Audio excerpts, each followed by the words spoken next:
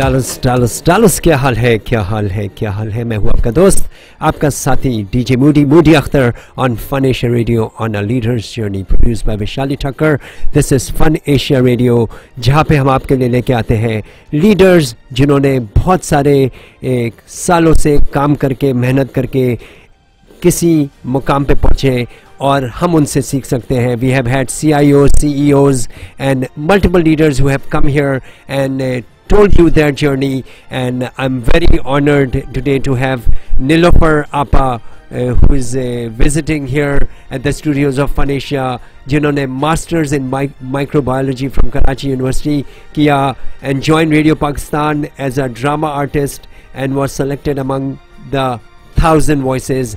Nilofer Appa, welcome to Fun Asia Radio. जी अस्सलाम वालेकुम सत श्री अकाल गुड इवनिंग नमस्ते बहुत बहुत शुक्रिया। पहले तो आप वक्त निकाल के आज हमारे रेडियो स्टेशन पे आई और सवाल आपसे, क्या करूँ? आपके पास तो इतनी सारी कहानियाँ होंगी। ये बताइए कि आपकी शुरुआत कहाँ से हुई? बिल्कुल, मैं बताऊँगी। सबसे पहले तो जो भी सुन रहा है इस वक्त इस प्रोग्राम को उनके लिए मेरी बहुत बहुत बहुत गुड विशेस और मुझे बहुत खुशी है कि आपने अपने स्टूडियो में इनवाइट किया। बड़ा खूबसूरत स्टूडियो है और शुक्रिया। मैं मुझे बहुत अच्छा लग रहा है यहाँ आके। शुरुआत तो जो है मैं, आपको क्या कहूँ? आप मूडी हैं? ये मतलब मूड मूड में रहते हैं या मैं मूडी कहूँ? Moody Moody is good mood में रहते हैं लेकिन अच्छा, हाँ मूडी ठीक है, ठीक है। बोलिए। तो मैं एक्चुअली मैं स्टूडेंट थी और वहाँ एक बड़ा हेल्दी कंपटीशन हुआ करता था हर साल, जो कि मैं समझती हूँ कि टैलेंट हंट के लिए एक बहुत अच्छी चीज़ होती थी। वहाँ साल में एक बार रेडियो पाकिस्तान वाले जो हैं, वो तमाम रेडियो पे इनवाइट करते थे कराची के जितने भी colleges university medical school engineering school वहाँ से स्टूडेंट्स को इनवाइट करते थे, जो उनके टैलेंटेड स्टूडेंट्स होते थे, वो उन्हें भेजते थे। और फिर मुख्तलिफ़ कंपटीशन होते थे कोई दस दिन तक, जो कि किरत से शुरू होके मुशायरा डिबेट तकरीरी मुकाबले और फिर फाइनली जो होता था वो ड्रामा होता था। तो ड्रामा जो है वो बहुत बड़ी चीज़ समझी जाती थी, क्योंकि उस वक्त तक टीवी नहीं आया था वहाँ, कराची में। तो ड्रामे का रेडियो ड्रामे का बहुत बोलबाला था। तो उसके लिए मुझे मैं डीजे साइंस कॉलेज में थी। डीजे साइंस कॉलेज जी जी जी। मैं डीजे साइंस कॉलेज से ही निकला हूँ। Really really? क्या बात है डीजेरियंस की तो। जी I I left after my first year of BSc अच्छा अच्छा अच्छा अच्छा। तो मैं वहाँ की स्टूडेंट थी तो उन्होंने मुझे भेजा कि तो आप तो बहुत ही अच्छी स्टूडेंट होगी। बस इससे आप अंदाज़ा लगा लें। क्योंकि वहाँ जाते ही अच्छे स्टूडेंट थे। तो बहरहाल ये ये भी एक प्राइड की बात है कि कोई डीजे का स्टूडेंट जब हम डीजे कर रहे हैं अभी तक। बिल्कुल बिल्कुल। मुझे तो बहुत खुशी हुई है सुन के। तो खैर फिर ना वहाँ मैं जब गई रेडियो पाकिस्तान तो मुझे तो ये लगता था कि बस मैं जाऊँगी मैं सिलेक्ट हो जाऊँगी। मगर जब गए तो जनाब पूरा सहन वहाँ भरा हुआ लड़के लड़कियों से और हज़ारों की तादाद में वो मौजूद थे। बहरहाल एक ऑडिशन हुआ फिर उसके बाद उसके बाद उसके बाद फ़िल्टर करते करते करते फाइनली जो था वो ड्रामे की हीरोइन के लिए मुझे सिलेक्ट कर लिया। ड्रामे की हीरोइन के लिए? ड्रामे की हीरोइन के लिए। और फिर ये बड़ा अलग so basically it's a talent that happened in Karachi out of thousands आपको ड्रामे के लिए सेलेक्ट किया। बिल्कुल बिल्कुल। और ये उस वक्त बहुत बड़ी बात समझी जाती थी और बड़ा अप्रिसिएशन मिला। डॉन अखबार जो आज भी बहुत बड़ा अखबार है पाकिस्तान का आ, उसने आ, कहा कि go, golden voice of the year ये उसने अपना लगाया था हेडिंग लगाई थी ड्रामा जब नशर हुआ। बस उसके बाद उन्होंने अपने अपने जनरल प्रोग्राम्स में मुझे बुक करना शुरू कर दिया, जो कि बहुत बड़ी बात समझी जाती थी। फिर उस मीन वाइल टीवी आ गया।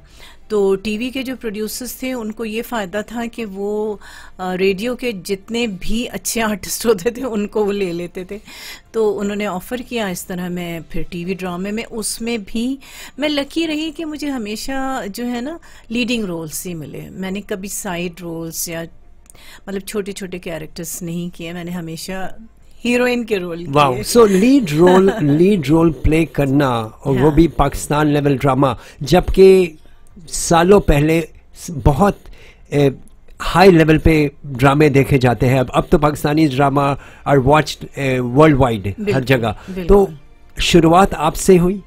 बिल्कुल अगर आप समझे तो मैं पाइनियर जो आर्टिस्ट थे उनमें शामिल थी और हमारे ड्रामे उस वक्त वो कहते थे प्रोड्यूसर्स के हमारे ड्रामे जाते हैं पूना इंस्टीट्यूट इंडिया और कई नाम वो लेते थे कि वहाँ जाते हैं वहाँ दिखाए जाते हैं। वाकई उनका स्टैंडर्ड था भी ऐसा कि उन्हें दिखाया जाना चाहिए था।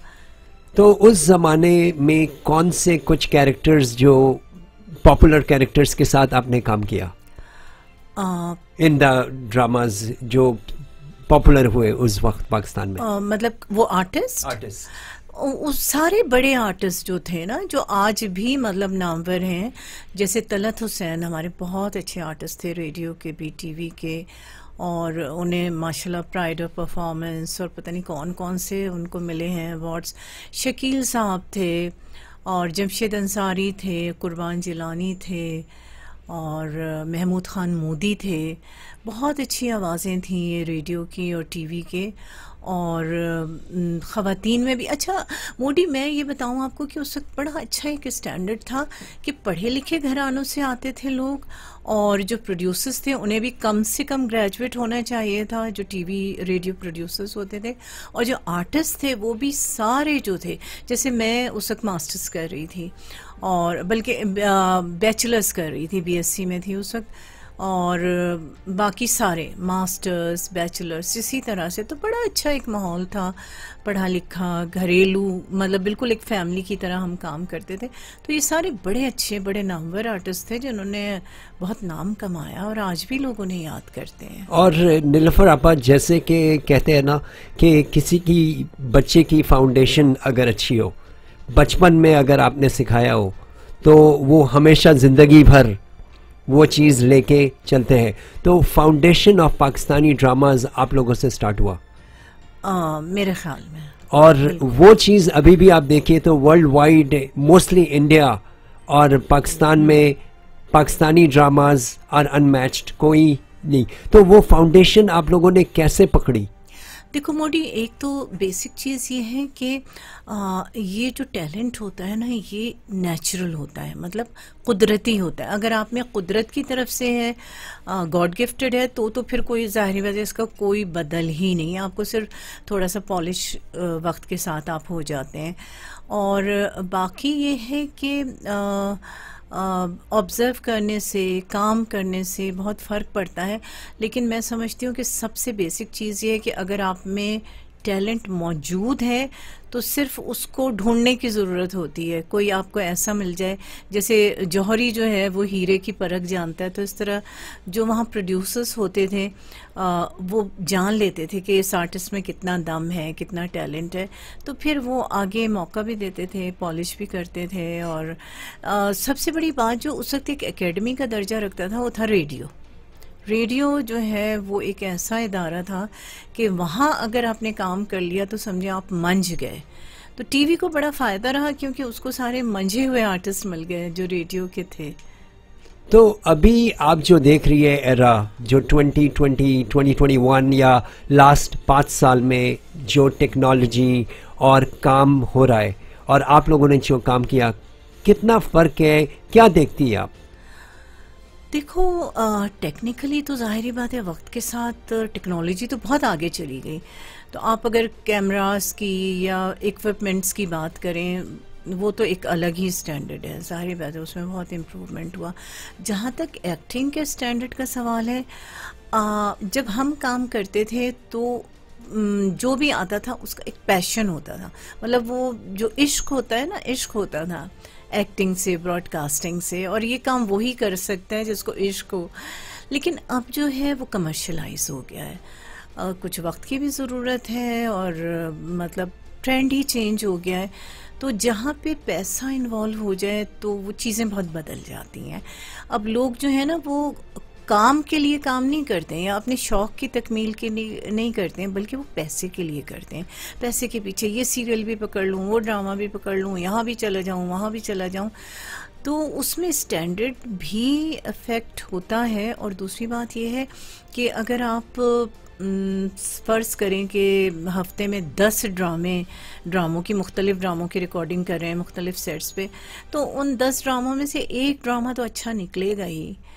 तो मैं समझती हूँ कि उस वक्त जो था अब हफ़्ते में एक ड्रामा होता था एक सेंटर से तो बड़ा टफ कंपटीशन होता था। अब वो कंपटीशन नहीं अब एक दौड़ है जिसमें फ़िल्टर होके कुछ चीज़ें बहुत अच्छी भी निकल आती हैं। मतलब अच्छा काम आज भी हो रहा है ऐसी बात नहीं है लेकिन उतना नहीं उतना नहीं। बहुत ही गहरी बात है पैशन अगर प्यार हो हम्म, आपको तो हम्म। फिर काम खुद ही नज़र आता है। बिल्कुल, और ये सिर्फ़ एक्टिंग या मतलब मीडिया की बात नहीं है पैशन आपको जो काम भी है, कोई भी काम आप किसी भी फ़ील्ड में अगर आप टीचर हैं, आप प्रोफेसर हैं, आप साइंटिस्ट हैं आप पेंटर हैं तो अगर पैशन नहीं है तो आप वो कर नहीं सकते हैं। बस अब ज़बरदस्ती आप करेंगे तो करेंगे, लेकिन जो पैशन होता है उसमें आप मोहब्बत से करते हैं, प्यार से करते हैं। एक चीज़ और पूछनी है कि दौड़ आपने हम्म। बोला दौड़ हम्म। तो अगेन दस साल बीस साल पहले तीस साल पहले और आज क्यों दौड़ क्यों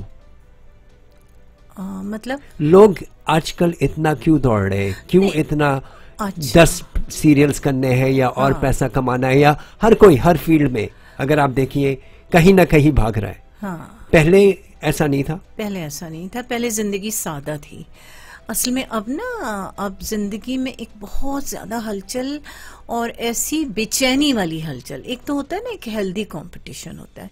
देखिए, पैसा कमाना या पैसे की आरज़ू करना कोई बुरी बात नहीं है। हर एक को हक है कि वो एक बेहतर ज़िंदगी गुजारे। लेकिन बेहतर ज़िंदगी का स्टैंडर्ड आप क्या बनाते हैं? मसलन आप ना किसी की बहुत अच्छी गाड़ी देखते हैं तो आप ये भी हो सकता है कि आप उसे अप्रिशिएट करें, आपके पड़ोसी ने ली, आपके किसी रिश्तेदार, दोस्त ने ली, आप खुश हों उसे देख के। नहीं, आप, अब अब ये आलम हो गया कि आपके अंदर एकदम से ये ख्वाहिश या यूँ कहना चाहिए, एक हसद या जलन एकदम से जन्म लेगी कि मेरे पास क्यों नहीं है? इसके पास क्यों लेटेस्ट मॉडल की टेस्ला आ गई, ये आ गया रेंज रोवर आ गई? तो मेरे पास क्यों नहीं है? मेरे पास ये गाड़ी क्यों है? तो ये सोच जो है ना, ये, या घर, इसके पास इतना बड़ा घर है, इसके इतने बेडरूम्स से यार आप सोते तो रात को एक ही बेडरूम में है ना, एक ही बिस्तर पे सोते हैं, दो रोटियाँ खाते हैं, दो से ज़्यादा मेरे ख्याल में किसी के लिए भी खाना मुश्किल है। तो जो कनात है ना, सब्र और कनात वो रुखसत हो गई है लोगों में से। एक, बस एक भीड़ चाल है कि इसके पास ये है तो मेरे पास भी होना चाहिए। मेरे पास क्यों नहीं है? भाई, क्यों का कई बातें होती हैं, कई लोगों की नसीब में होती है किस्मत में वो दौलत होती है, वो पैसा होता है। और देखो मूडी एक बात हमेशा याद रखो कि जो आपकी किस्मत में है, वो आपको हर तरह मिलेगा। वो दौड़ के आपके पास आएगा और जो नहीं है वो भागकर आपके पास से चला जाएगा। अगर आपके हाथ में भी आ जाए ना तो वो कहीं गिर जाएगा। तो इसलिए इन चीज़ों में अगर आदमी परेशान होना छोड़ दे ना ज़िंदगी बहुत सादा बहुत अच्छी और बहुत खुशी वाली गुजरे।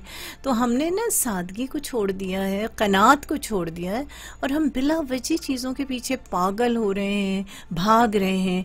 तो वही एक फ़र्क है। मतलब आप अच्छी ज़िंदगी गुजारने का ख्वाब देखना कोई गलत बात नहीं है पैसा कमाना कोई बुरी बात नहीं है लेकिन उसके लिए अपना दिन रात का चैन जो है उसको बिल्कुल तहस नहस कर देना उसमें मैं बिलीव नहीं करती।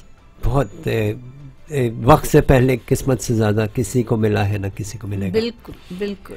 तो चैलेंजेस आपके पूरे career of being an artist being an actor what challenges do you remember या आपको याद है कोई ऐसा चैलेंज जो आपने फेस किया जो आप लोगों को बताना चाहेंगी कि दैट कैन हैपन और कोई ऐसी स्टोरी नहीं मोदी, असल में बात यह है कि मैं अपने आप को बहुत बहुत बहुत खुश नसीब और ब्लेस्ड समझती हूँ कि ज़िंदगी में मुझे अल्लाह ताला ने किसी मुश्किल में कभी भी नहीं डाला। मतलब चाहे वो ऑडिशन था रेडियो का या ड्रामे की रिकॉर्डिंग पहली दफ़ा टीवी की थी आ, या कुछ भी था या पढ़ाई थी। पढ़ाई मैंने जैसा तुमने शुरू में बताया था कि मैंने माइक्रोबायोलॉजी में मास्टर्स किया तो माइक्रोबायोलॉजी एक अच्छा मुश्किल सब्जेक्ट है और उसके साथ साथ एक्टिंग और ये सारी और उस वक्त मैं पीक पे काम करती थी मतलब बहुत ज़्यादा काम करती थी। तो लेकिन मुझे ना कभी भी किसी चीज़ में मुश्किल नहीं पेश आई।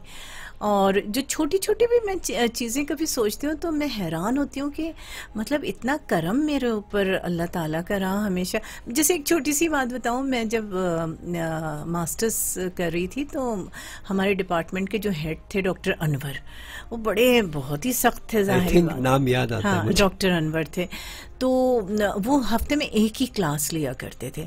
अच्छा और वो जो उनकी क्लास का टाइम था, वो मैं रेडियो पे एक प्रोग्राम किया करती थी एक्सटर्नल सर्विसेज़ के लिए, और वो बड़ा ज़बरदस्त प्रोग्राम था। वो भी मैं नहीं छोड़ सकती थी, कॉन्ट्रैक्ट था मेरा।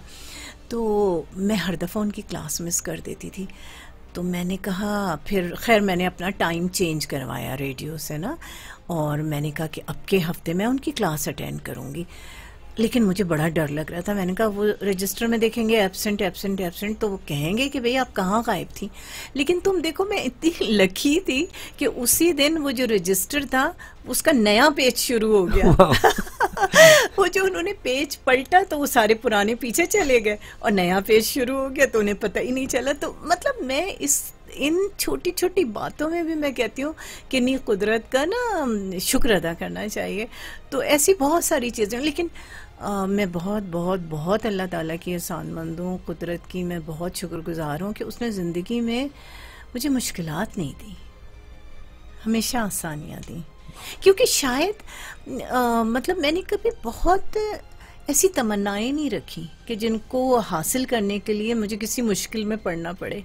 मैं बहुत सादा ज़िंदगी में बिलीव करती हूँ छोटी छोटी खुशियों में बहुत ज़्यादा खुश होती हूँ और बड़ी बड़ी चीज़ें मतलब मेरा गोल ही नहीं होता है वो ये नहीं कि मैं तरक्की नहीं करना चाहती ज़िंदगी में या मैंने तरक्की नहीं की तरक्की के दरवाजे खुलते चले गए खुलते चले गए और कैसा लगता था जब अगेन डालस हम बात कर रहे हैं हम्म। Nilofar apa Nilofar Abbasi a very popular actor and writer producer from Pakistan right here at Fun Asia radio अगर आप सुन रहे हैं और अब अपने अभी ट्यून इन किया। जी कैसा लगा एकदम से ऊपर जाते हुए दरवाजे खुलते हुए?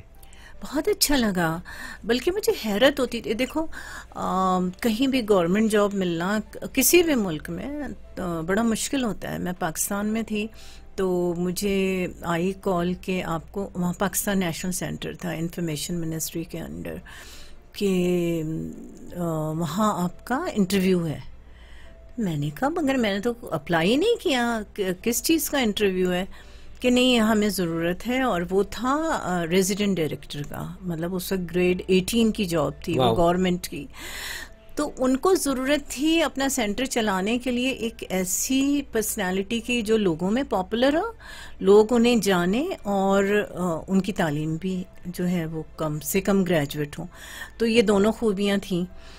तो पता ये चला कि वो उसमें गवर्नमेंट की मुख्तलिफ़ पॉलिसीज़ थी। जैसे बैंक्स नेशनलाइज हुए तो अब आप आम पब्लिक को बताएँ सेमिनार सिंपोजियम वगैरह करके, कि ये इसके क्या फ़ायदे हैं भला भला भला हालाँकि वो मेरी फ़ील्ड नहीं थी, मैंने कभी वो काम नहीं किया था, लेकिन स्टिल मैंने उस जॉब पे काम किया और बड़ा मतलब बड़े अच्छे अच्छे सेमिनार्स और सिंपोजियम्स और बहुत बड़े बड़े बड़े पैमाने पे प्रोग्राम किए, बड़ी मैं कामयाब रही। वो मेरा बड़ा अच्छा एक्सपीरियंस रहा। फिर फिर यही डॉक्टर अनवर जिनकी मैं बात कर रही थी हेड ऑफ़ द डिपार्टमेंट जब मैंने एमएससी कर लिया तो अच्छे अच्छे नंबर थे। MSc from DJ science is not easy हाँ वहाँ से बीएससी किया था और एमएससी कराची, कराची यूनिवर्सिटी से जी।, जी।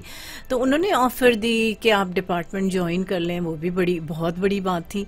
लेकिन उस वक्त ये था कि जनाब हम तो हज़ारों में हमारी आमदनी थी और दिन रात जो था डॉक्यूमेंट्रीज़ और कमेंट्रीज़ और वॉइस ओवर और फलाना और ढिमाका सब चल रहा था और फ़िल्मों की ऑफ़र फ़िल्मों की ऑफ़र भी और कमेंट्री क्रिकेट कमेंट्री नहीं अच्छा। आ, ये जो कमेंट्रीज होती हैं वॉइस ओवर्स होती हैं जैसे तुम आ, देखते होगे कमर्शियल्स होते हैं ना जिसकी टेल कमेंट्री होती है और फला साबुन आपकी खूबसूरती में इजाफा या फला घी आपकी सेहत का जामिन।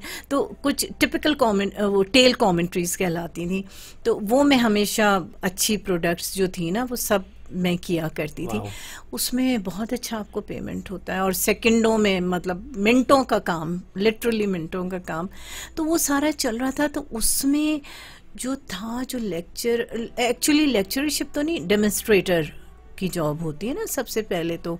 लैब में काम करना होता है तो वो तनख्वाह थी साढ़े चार सौ रुपये जो कि उस वक्त बड़ा अमाउंट होता था। लेकिन वो तो जचते नहीं थे क्योंकि हम तो एक कमेंट्री में हमें पाँच सौ रुपये मिलते थे चंद मिनटों में।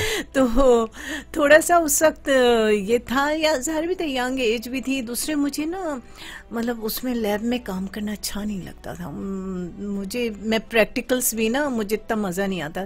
थ्योरी अच्छी लगती थी प्रैक्टिकल्स अच्छे नहीं लगते थे।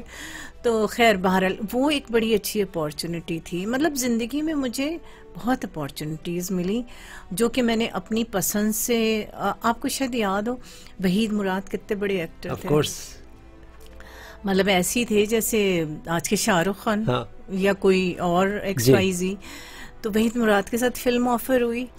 आ, तो सबको लगा कि मैं मतलब ये तो बहुत बड़ी अपॉर्चुनिटी है। रिमझिम उस फ़िल्म का नाम था जिया सरदी बना रहे थे। तो लेकिन फ़िल्म मेरा कभी भी मतलब गोल नहीं रहा था। क्योंकि आम लोग जो थे ना अब तो खैर नहीं अब तो कोई ऐसा फ़र्क नहीं रहा फ़िल्म और टीवी के माहौल में लेकिन उस वक्त बहुत ज़्यादा फ़र्क था। अ, फ़िल्म में काम करना कुछ इतना पसंदीदा नहीं समझा जाता था।